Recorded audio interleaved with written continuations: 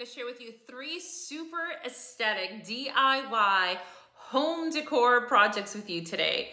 Most of the materials used in these projects were from the Dollar Tree, but don't worry, these projects do not look cheap and anyone can do this. This is super easy. If you're interested in seeing how to do very aesthetic artwork for your home, then just keep watching.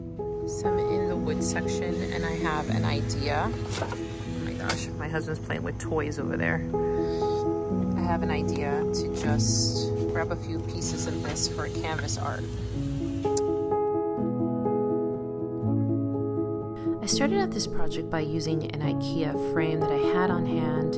This is, I believe, an 18 by 30 size frame.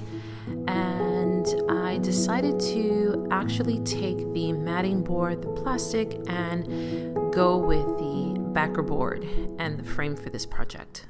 To start this project, I picked up the wood planks from the Dollar Tree and I grabbed several different sizes for stacking purposes. I wish I would have grabbed more, but this is what I had on hand.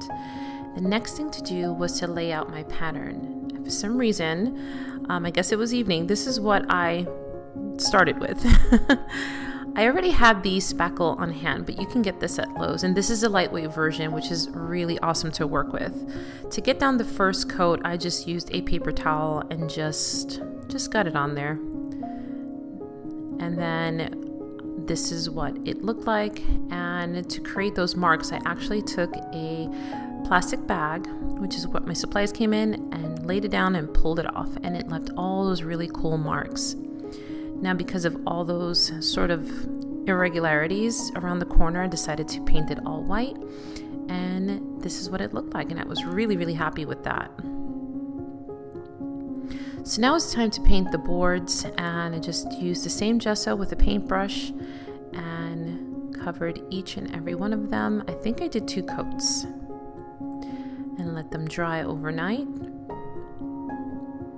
So now in the morning, I was looking everything over and decided that I wanted to add some texture.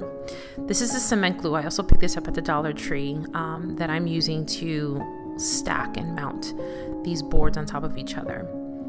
So here I grabbed the, the spackle again, decided to do the same texture. So I'm just laying it on and I'm doing the bag trick again. And look at that. I thought this was really, really cool.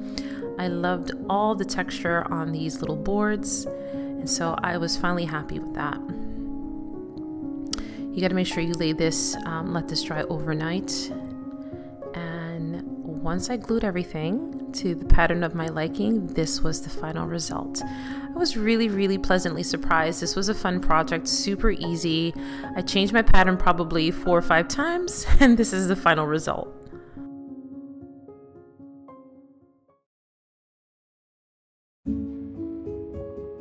This next project is so, so easy. All you need is a glass bowl of your choice and a glue gun and lots and lots of glue.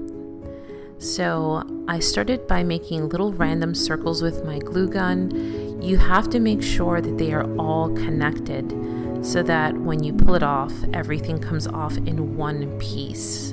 Um, you can go back if you'd like um, and do two layers, but I only did one.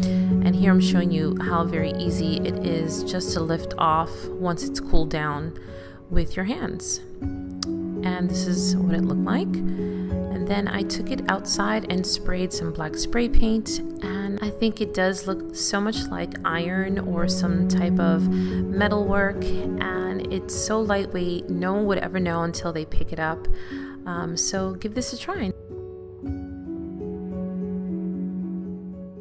So for this next project, I was really pushing the envelope. These are little construction cones from the Dollar Tree in the kids' toy section. All it took was a coat of matte black paint, let that dry. I did go to the craft store and pick up and picked up a 18 by 30 size canvas and spread um, burnt sienna acrylic paint using my plastic method for some texture, just laying it down, smoothing it out, and then peeling it back so that you can see this awesome texture. And that's what I was going for. So now I am kind of dry brushing it. The brush kind of sat out for a little bit and I just went ahead and dusted these It was nighttime, so this clip is really grainy. With the same cement glue, I went and glued um, these down. There's the final result. I absolutely love it. I think it is so quirky and different, very mid century modern abstract. Um, so try this and let me know in the comments what you think.